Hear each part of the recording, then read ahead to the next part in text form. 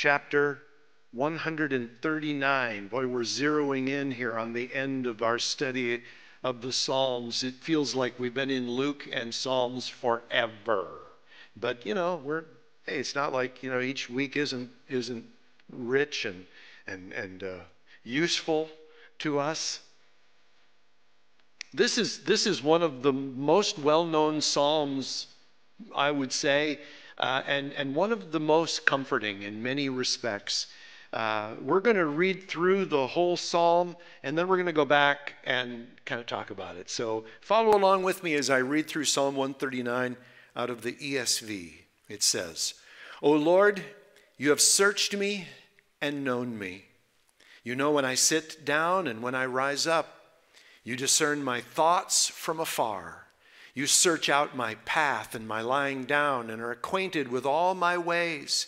Even before a word is on my tongue, behold, O Lord, you know it altogether.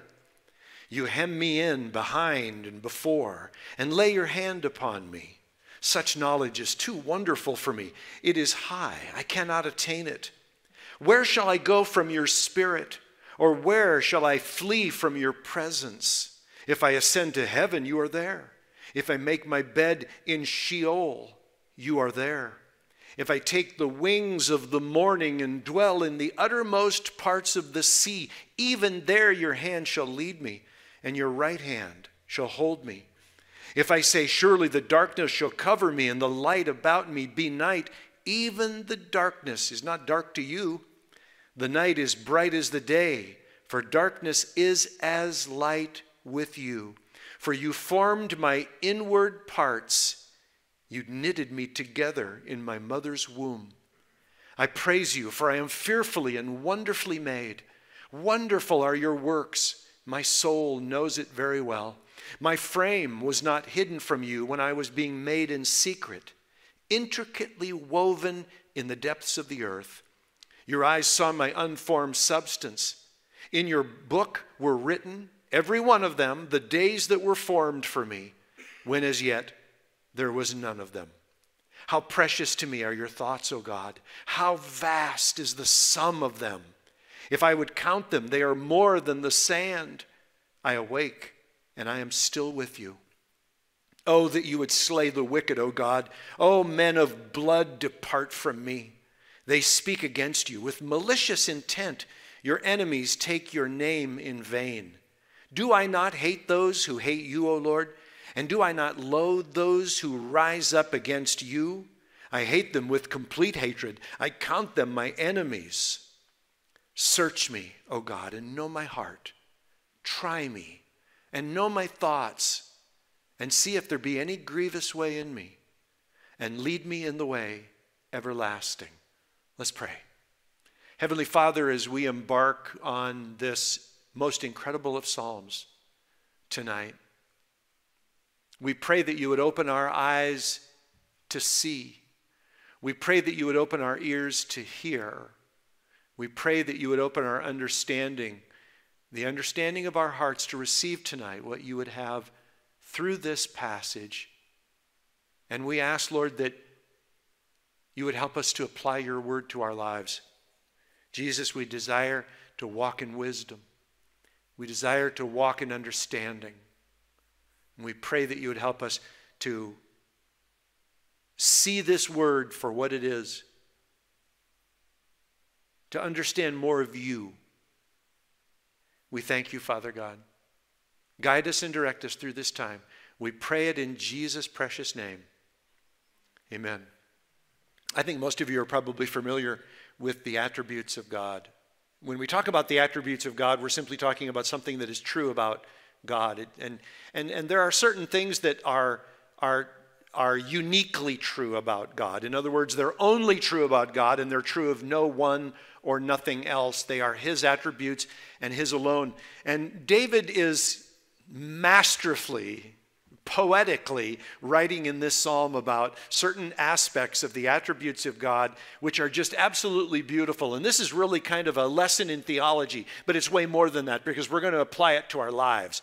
But, but there is some powerful and wonderful theology that is given to us in this passage. And he begins, David begins by talking about God's omniscience. And when we say God's omniscience, what we're talking about is the fact that God knows everything. Not just that God knows, I mean, you know things, I know things, but God knows everything, and God knows everything perfectly.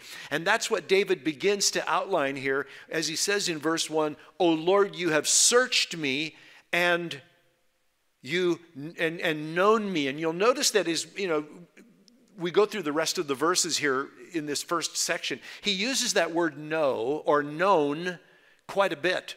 And that's an interesting word because it is the Hebrew word yada. And it means not just to know, but to know intimately. It means to know experientially.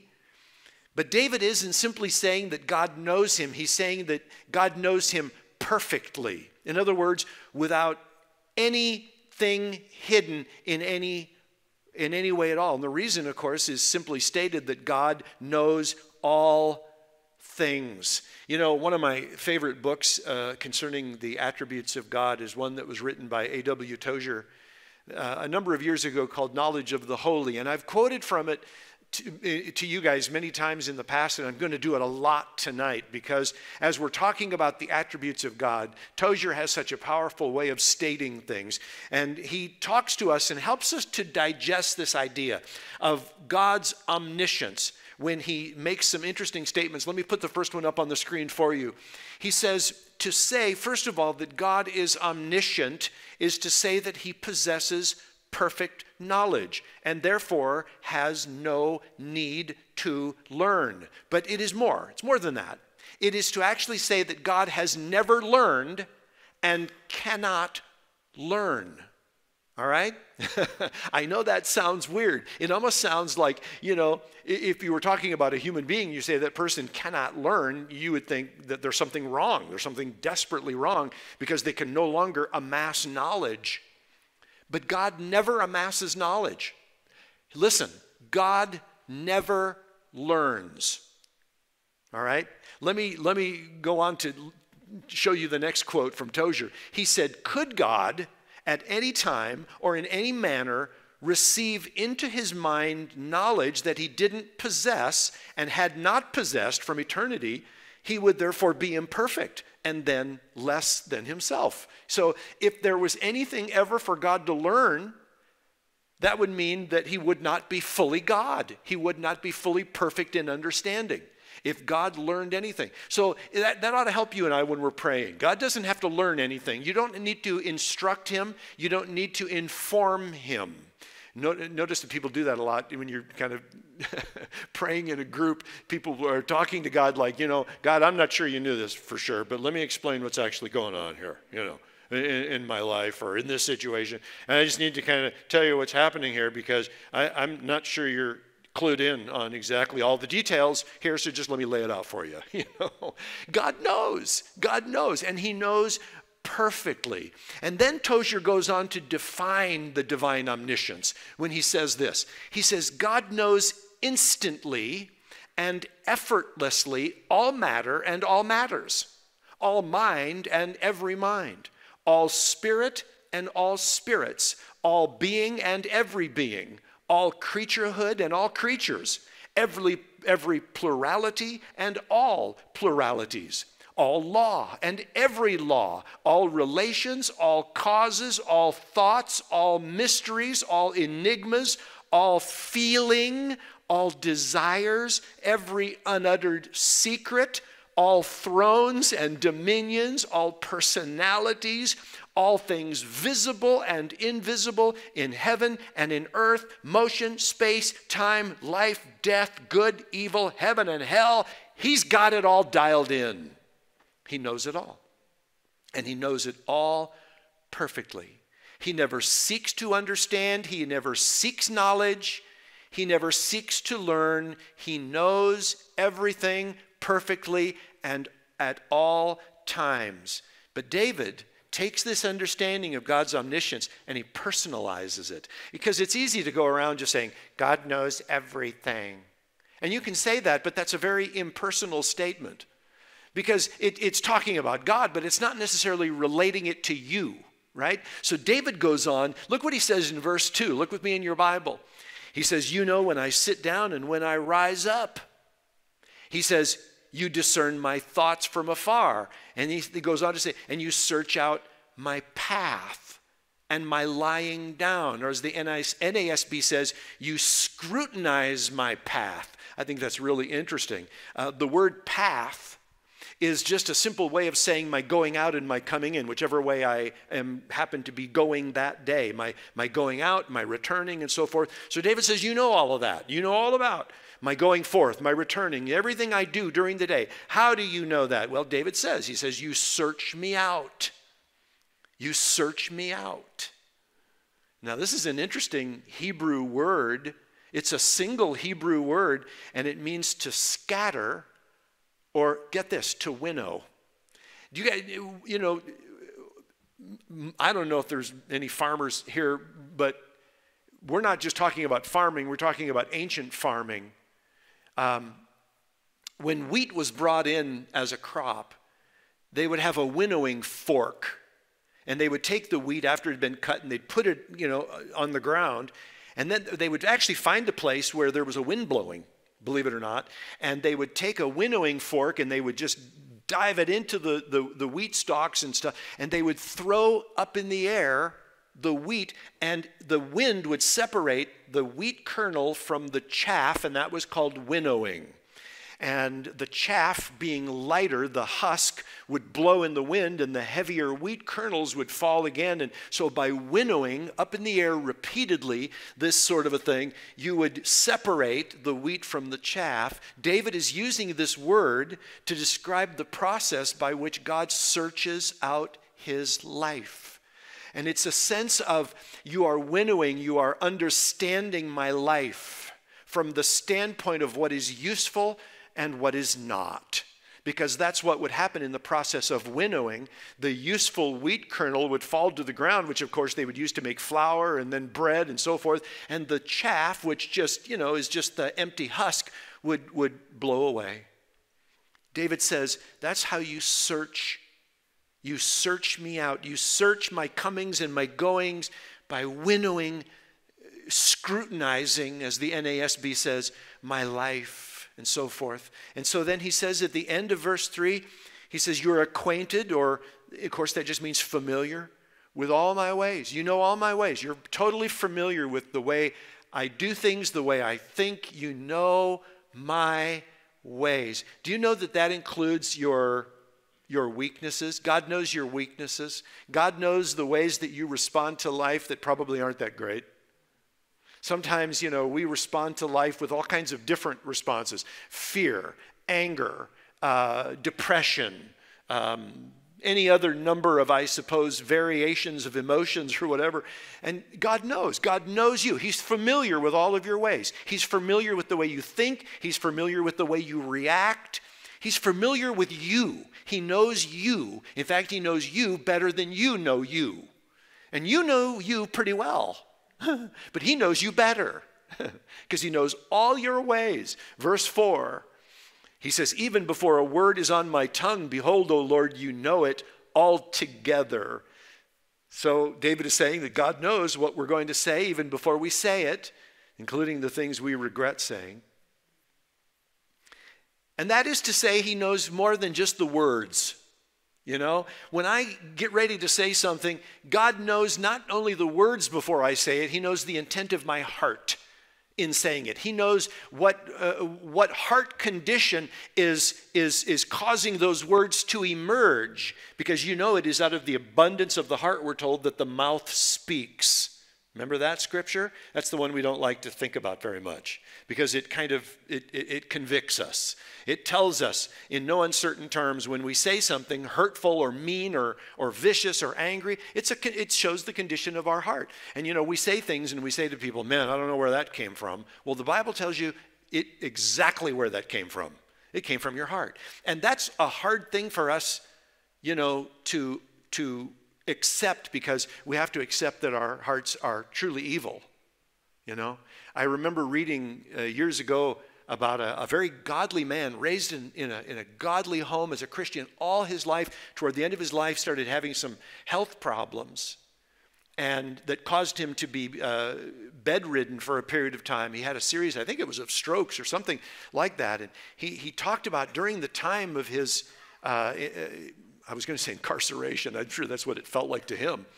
But during that particular time, he said all these, all these thoughts and even some vile words came bubbling up in his life, and he was horrified. And he cried out to the Lord and he said, God, where did this come from? I have never spoken like this in my life. I have always believed that these kinds of words are the most vile and obscene sorts of things that a human being can say, and I've never given, you know, the freedom of for these words to come out before. Why now? What's happening to me? And the Lord just spoke to his heart and, and, and, and settled him in a sense by saying, Listen, did you think your sinful nature went away?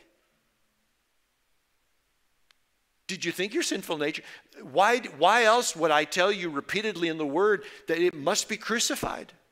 It must daily be crucified. It must be brought to the cross of Christ. It must be repudiated. It must be resisted. And, and, and here you are going through this situation you've never endured in your life with these kinds of health issues. And suddenly, what is emerging from, you know, from you is, is what has been in your heart all along.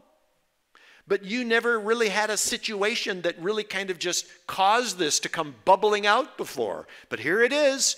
Surprise, this is you apart from Christ. right?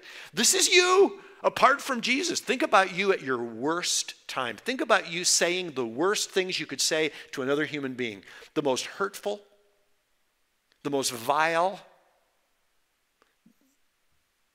That's you apart from Jesus Christ. That's what's in the heart. The heart is deceitful, it is wicked, it is sick. Jeremiah tells us it's beyond cure. And that's why God doesn't come and wash our nature, He gives us a new nature. He implants in us literally the nature of Christ so that we might yield now to that new nature and resist the old nature. I wish very much the old nature went away. I, I very much wish that. But in my life, it has not been. I have not seen my old nature go away. It is still very much in place. And at any given time, if I give it the freedom, it will rise up and take control of my words, my thoughts, my actions. Unless I resist it and yield instead to the power of the Holy Spirit, which is, by the way, a greater power. Greater is He that is in you, right? That is Christ in you, than the one who is in the world, or the man of the world, if you will. So he says, uh, you know, you see uh, the heart, and so forth. Verse 5, I love this too. He says, You hem me in behind and before, and lay your hand upon me. I love this. This is beautiful. This is beautiful. You hem me in behind me, before, and you lay your hand upon me. What a beautiful statement. But God is always guarding us, always standing with us. And our lives are in His hands, both behind and before, meaning the things of the past, the things that are yet future. Do you believe that, brothers and sisters in Christ?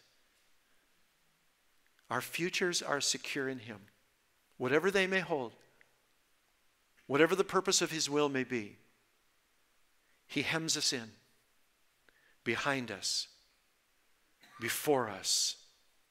Such a beautiful thing. And then David writes in verse 6. This is, this is so beautiful. He says, Such knowledge is too wonderful for me. It is high. In other words, it is lofty. And he says, I cannot attain it. And I love this statement because it's such a statement of humility and surrender to the Lord. Because David freely admits in this verse that the perfect knowledge of God is something that is so far above him that he can't comprehend it. And again, this is hard for you and I to admit.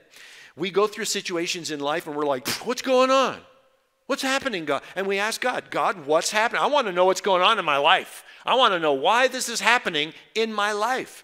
And, and, and God is like, dude, and I don't know if he calls you dude, but he calls me dude all the time because it's his way of saying, chill, you know, you're an idiot. Uh, he tells me that all the time, and it's fine because it's just, you know, he know, I know he loves me. You can't know.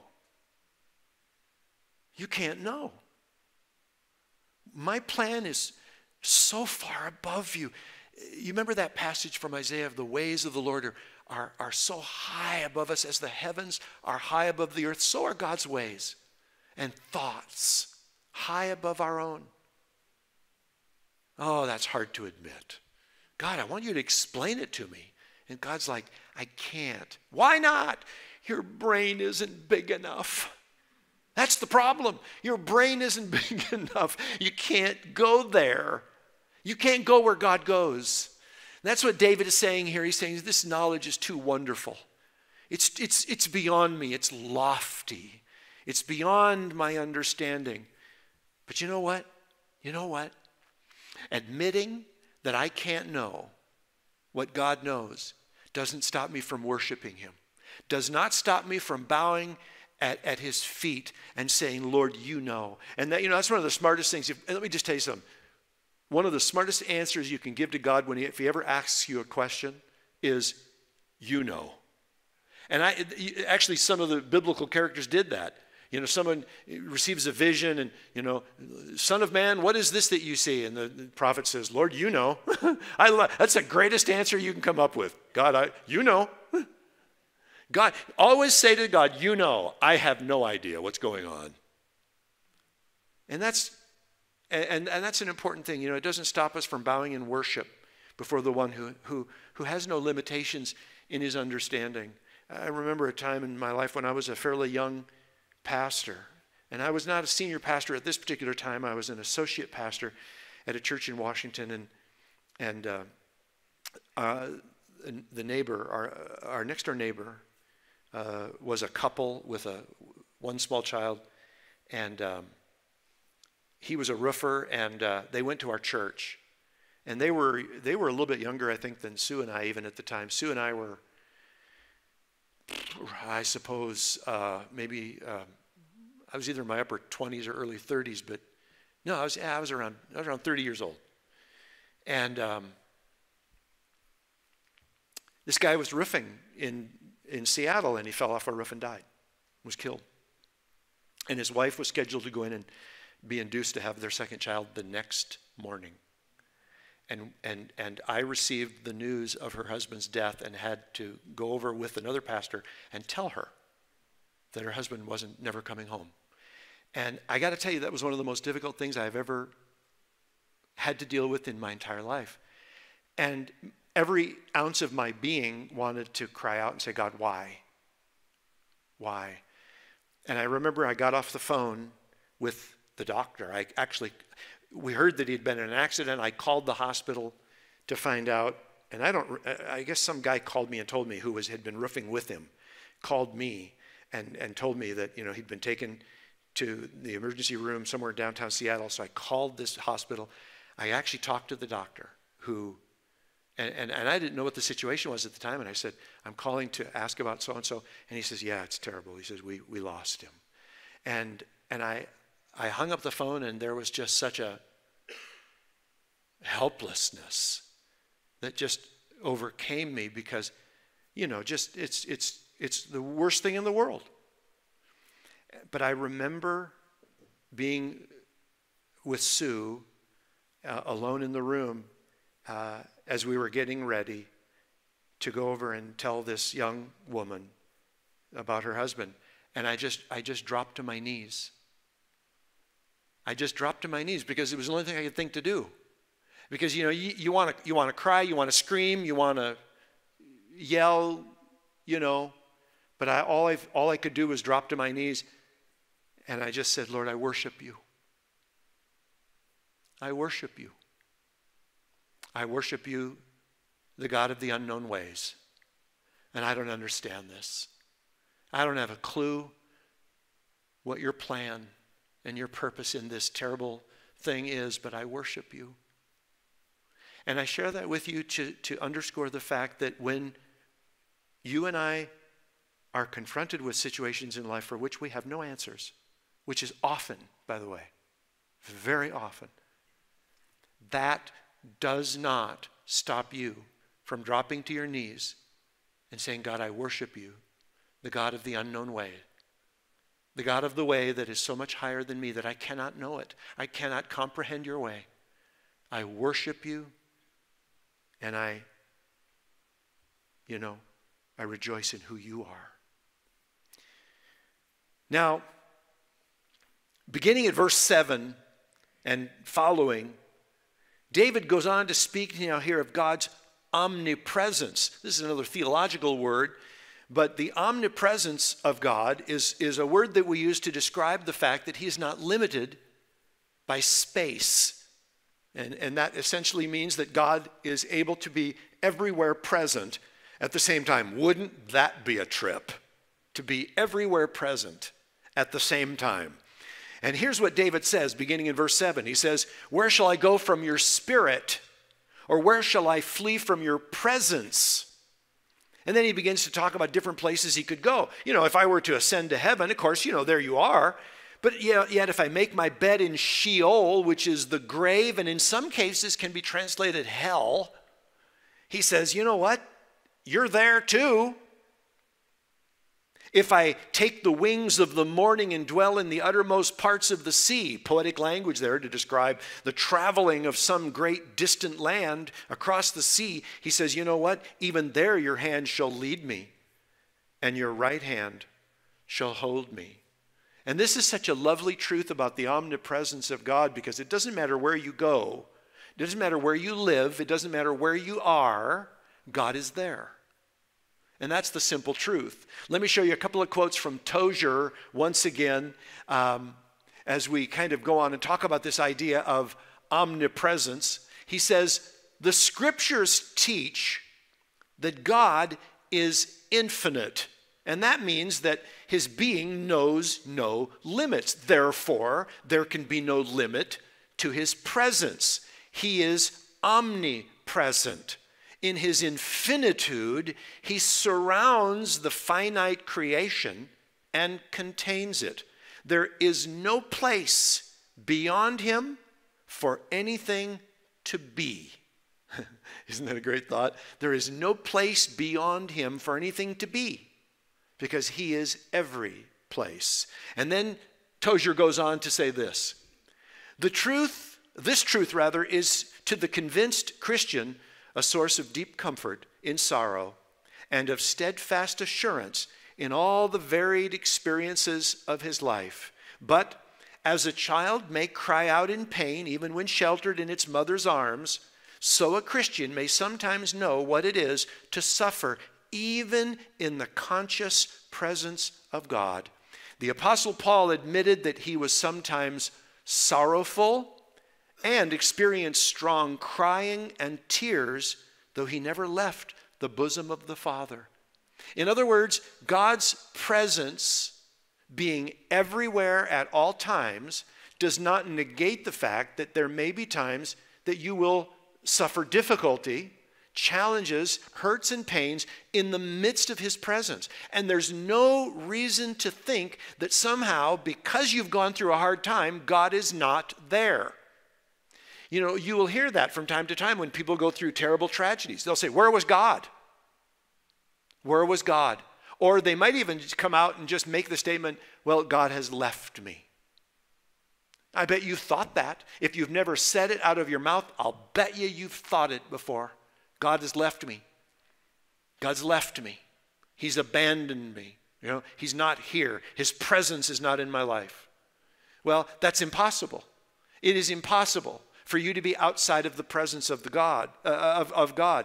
And so, you know, he's he's he's he's making the point, and I love how he says it. Even though a child may suffer pain, even even while being caressed in his mother's arms, so also we may experience the difficulty of life even while we are being caressed by the very presence of God at all times. It's, it is a very comforting, very beautiful thought. Verse 11 If I say, Surely the darkness shall cover me and the light about me be night, which I bet you you've said too in the past. I bet this, you, you might have said, This darkness is going to overwhelm me. He says, Even if I should say that, he says, You know what? In verse 12, even the darkness is not dark to you. The night is, in fact, bright as the day, for darkness is as light with you. And this is one of the things I love about our God. The darkness cannot shut him out. And there are times, Christians, when darkness creeps into our lives, right? But that darkness cannot shut out the light and the presence of God. It may seem to you as if that is the case, but you know better. You know better from the Word of God. David is saying here, even if I say, surely this darkness is going to overwhelm me, this darkness is going to consume me, this darkness is going to swallow me whole. He says, but you know what? Even that kind of darkness that has the ability to swallow a life whole, that's not dark to you. It's not darkness to you who are all light. So David is saying that even in the, in the darkness, God is present. And, and, and whatever darkness may invade my life, his light is there as well. You might remember, I don't know if you do, it seems like a long time ago, but back in the 18th Psalm, that was forever ago, David said something about this. He said, It is you who light my lamp. The Lord, my God, lightens my darkness. So David had made statements about this previously. David felt the darkness of life. He felt people hunting him like an animal. He felt the darkness of sin. He felt the darkness of tragedy. He felt the darkness of death. And yet he said, God, you light my darkness. You lighten my darkness. Wow, what a beautiful thing. Notice what he goes on to say as David now goes on in verse 13 and following. He's going to begin to praise God for the genius of his creation. Verse 13, I love this. He says, For you formed my inward parts. and of course, this speaks of, you know, the vast network of incredible creative genius that is our physical bodies. These physical, I'm surprised. I'm surprised every morning when I wake up that I wake up. I'm surprised I made it another day. It's like, how in the world, you know, does this body just keep functioning, you know? And the older I get, the more amazed I am. There is this incredibly complex network of nerves and, and this system of healing that God put into our bodies. Isn't that amazing? God made band aids. Band aid brand thinks they came up with, with, with band aids. They didn't. God made band aids. It's called these little cells in your blood that clot your blood and you make a scab. And, and, and God created this, this method of stopping a bleeding and, and keeping the thing clean. And then, and then it goes away all on its own. It's just, it's amazing. You know, David was largely ignorant of much of what we know about the human body today. We know so much more. We've gotten down to the level of DNA, and we've learned something about ourselves. We've learned that our cells are packed with information. Information. Intelligent information. Our DNA cells were literally packed with intelligent information, right? Which just screams at us about an intelligent designer. You know, David didn't have the, the, the, the, the knowledge that you and I have about these physical bodies. Look what he goes on to say. He says, You knitted me together in my mother's womb. Uh, he's using poetic language here to just speak of the process of procreation you know, which God has given to us. What a what a miracle! Have you ever thought about that? What a miracle! I we had our little grandson over at the house today. We were taking care of little Benjamin, uh, who's uh, two, just just little yeah, just turned two here uh, this month. What a character that kid is! But he is just he's his mom and his dad. He's this amalgamation of his mom and his dad. And we can see it, you know, in his silliness and his weirdness and, and all the little things. And we just look at him and we laugh and we just go, it's just like Aaron, you know? Uh, here's this little kid. He, doesn't, he looks more like his mom, frankly, but he acts just like Aaron, you know? And, and, and what an amazing thing it is that God has blessed you and I to make people. You know? I mean, good grief. Sue and I made four people over the years. It's like, look, honey, we made a people. It's a little people. And they grow up and they walk and they talk and they and, and it's just crazy. And they think. And then they get to the age where you call them up to ask for their advice. Honey, what do you think I should do? You know? Talking to my kids, you know? It's crazy. And we made this kid, you know?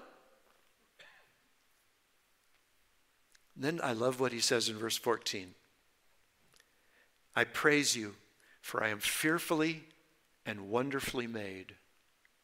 Fearfully and wonderfully made. You know, when they had the uh, memorial service for Pastor Chuck Smith, which we showed here at Calvary Chapel, it was uh, his daughter Cheryl who got up during the memorial and talked about how, as his lung cancer was increasing, spreading.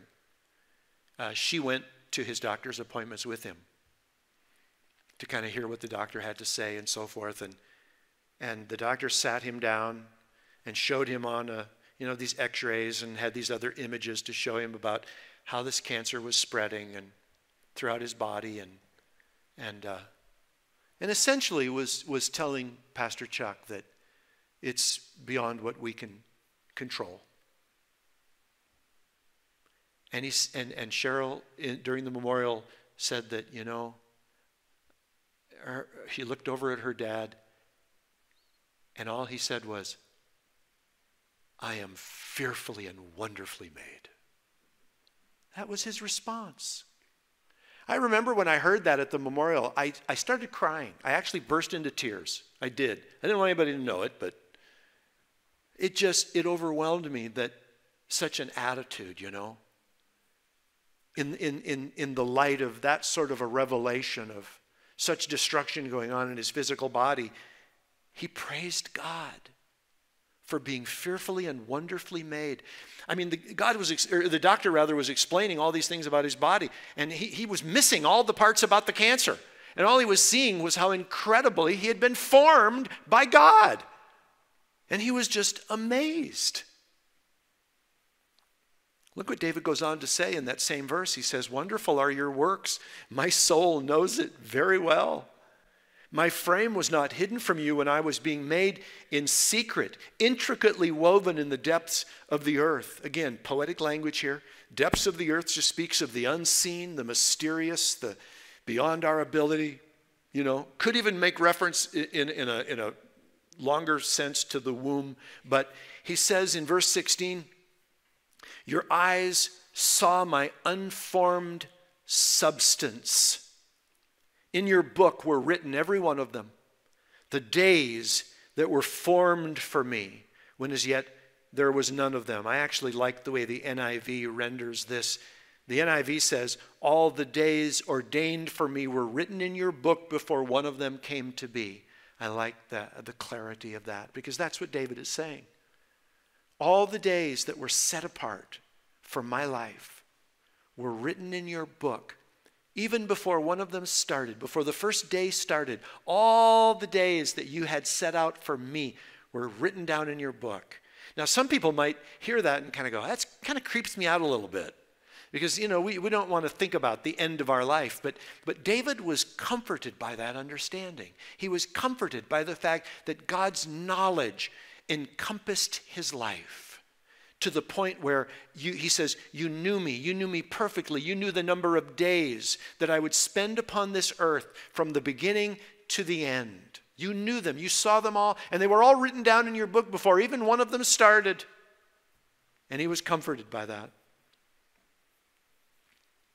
Obviously, that speaks of God's ability to see beyond the limitations of time. In verse 17, David now returns to speak of God's perfect knowledge. And he says in verse 17, I love this, how precious to me are your thoughts, O God. How vast is the sum of them. If I were to count them, he says, good grief, they're more than the sand.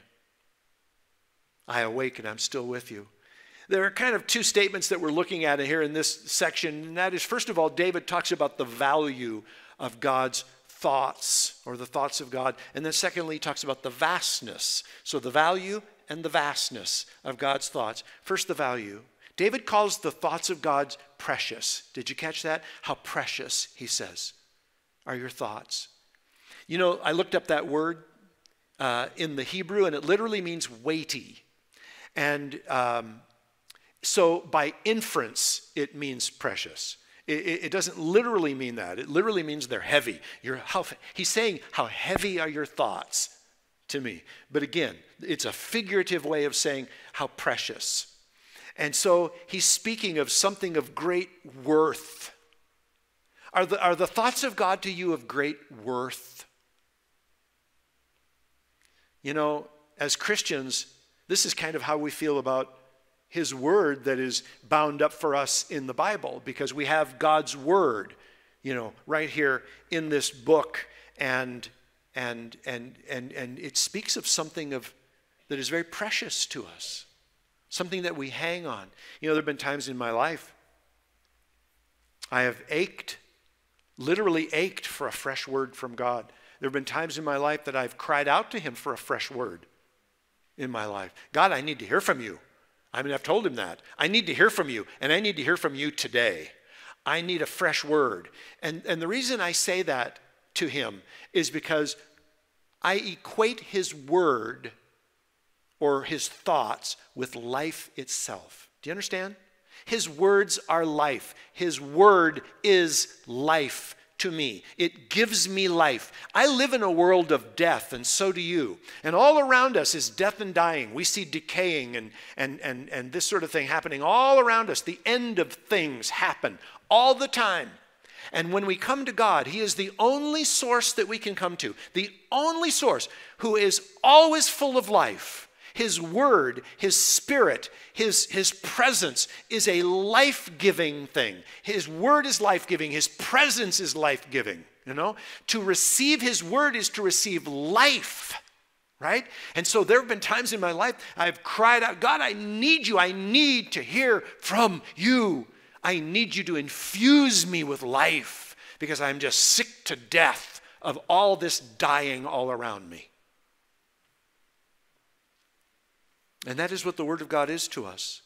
It is also what the Bible is to us a very precious word of life because it allows us within the pages of the Scripture to understand and to clue in on the thoughts of God, the very thoughts in the heart of God.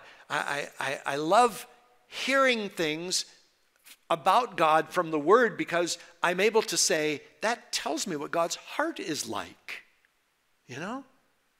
When I see him showing mercy to somebody who deserves death, I say, That's my God. That's how he acts toward people. I love that. I need that, you know? I need that in my life. Lord, I need what you are. And I go to your word to find it. But you'll remember, uh, you know, uh, we men, we, and I speak of men, not men as a gender, but mankind, we're so full of opinions, aren't we? You know, everybody's got an opinion. Uh, ever since social media was created on the internet, you know, everybody just loves to give their opinion. Well, I think, you know, as if it matters, you know, what I think. You know, as if it really matters. Well, you guys need to listen to what I think because this is my opinion. R- you ready? I'm sure you're going to want to settle down and stop doing whatever you're doing because I'm about to talk. You know, how arrogant is that?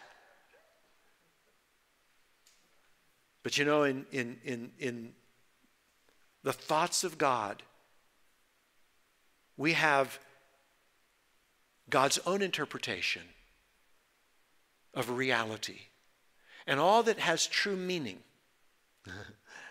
so many times, human opinions have no meaning, they're just opinions, it's fluff. But what God thinks about all that He created, all that He made, all that He knows, and what He communicates to you and I through His thoughts, through His Word, through the Spirit, right?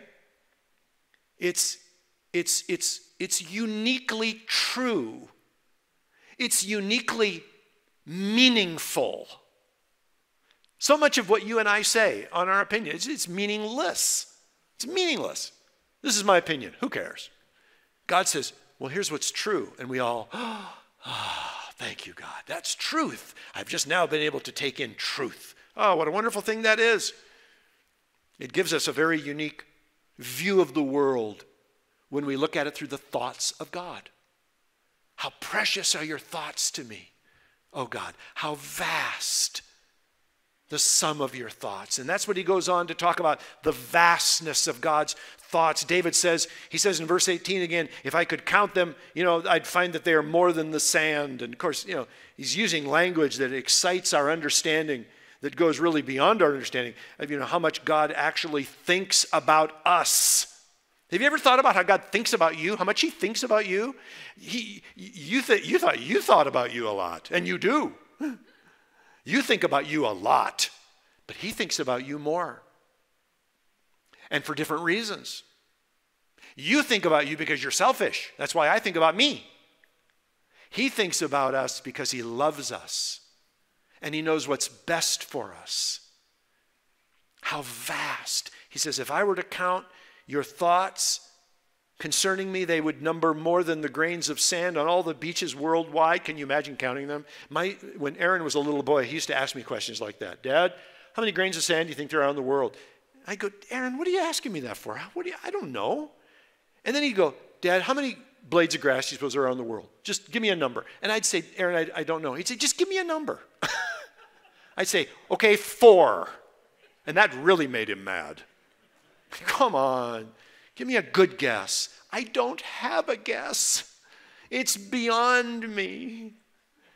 David is saying, God, your thoughts, the vastness of them, they're beyond me. They're beyond me. Were I to try to count them, there's no way. David then turns to address those who care nothing for the God who created them, who actually do evil. He says, Oh, Verse 19, that you would slay the wicked, O God. O men of blood, depart from me. They speak against you with malicious intent. Your enemies take your name in vain. Now, it's important to see here in, in these verses that, that David's hatred here is not a personal sort of a thing. He's not talking about somebody who dislikes him, he's talking about those who hate God, right? That's what he says here.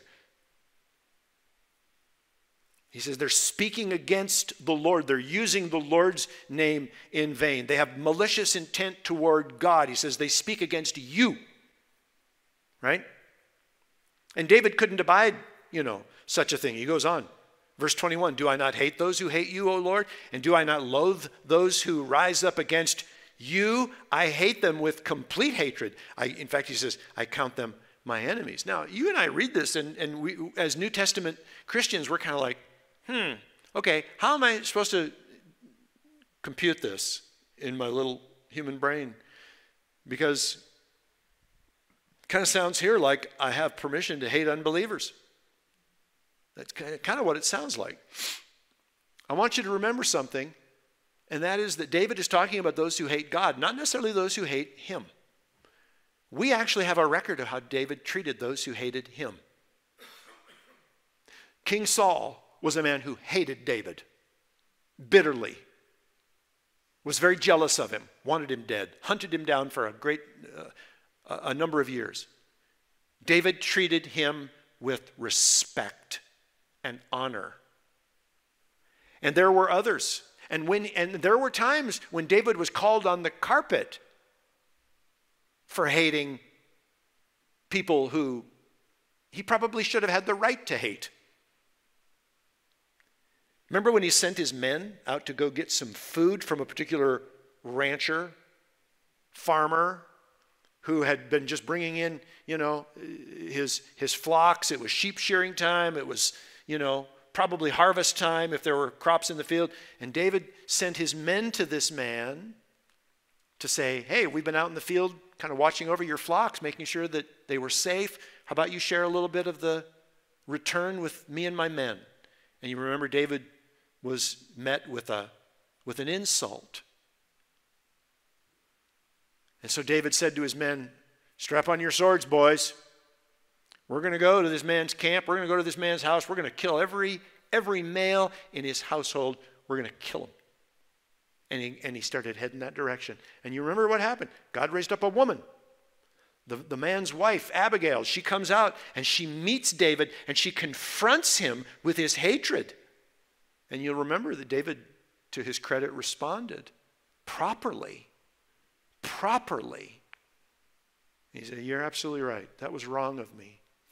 So you need to understand we have a record in the scriptures of how David treated his own enemies many times. And, and so, you know, David again is talking about those who hate God. And you and I have been given a, a, a, a, word of command from Jesus himself related to how we deal with people who hate us, all right? And that's our first line of obedience. Let me show you what Jesus said from Matthew chapter 5, verse 43 through 45. He says, You have heard that it was said, you shall love your neighbor and hate your enemy. But I say to you, love your enemies and pray for those who persecute you, so that you may be sons of your Father who is in heaven. Why? Because he makes his sun rise on the evil and on the good, and sends rain on the just and on the unjust. And that is the command that you and I are given for those who are our enemies.